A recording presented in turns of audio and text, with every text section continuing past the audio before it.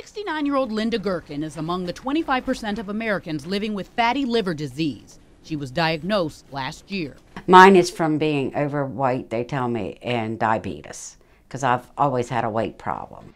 Fatty liver disease is a chronic yet silent disease. Most patients live with it for several years without any symptoms, and most, according to Dr. Paul Thuluvath at Mercy Medical Center, have it because of obesity and other issues that accompany that condition. And cardiovascular disease is very common in these people because they have diabetes, hyperlipidemia, hypertension, obesity.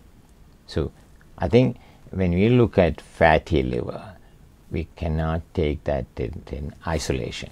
This model shows the progression of disease in the liver. Linda has stage three. Cirrhosis of the liver is stage four. Cancer is stage five. If the doctor tells you got a fatty liver, don't leave it just stay there.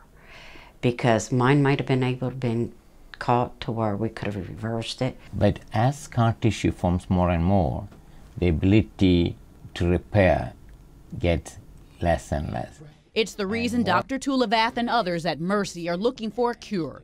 There are clinical studies happening right now, and Linda is a part of one. If I can help someone by doing this study, it may help me, it may not, but if it can help someone else, I'm all for it.